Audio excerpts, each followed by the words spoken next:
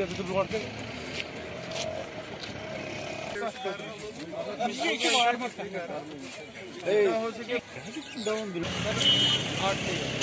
आठ लोग हैं नौ हैं तो इन्हें डाल सब कल केरल पाकिस्तान के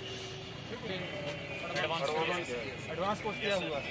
तीन कोर्स तीन ये कितने दिनों के कोर्स के लिए ये फिफ्टीन डेज़ पंद्रह दिन। तो पहले अकोमोडेशन सर आप करोगे कहाँ रखोगे अकोमोडेशन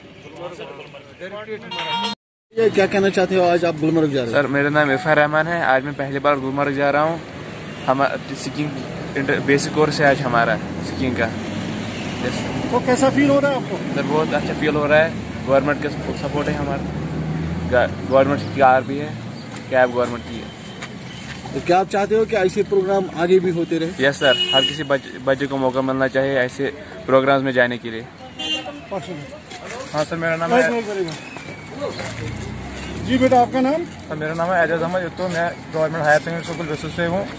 मैं इस साल दूसरे कोर्स में हूँ इंटरमीडिएट बहुत अच्छा लगा। तो पहली आप गुलमर्ग पहली इस तरह के टूर पे गए हैं?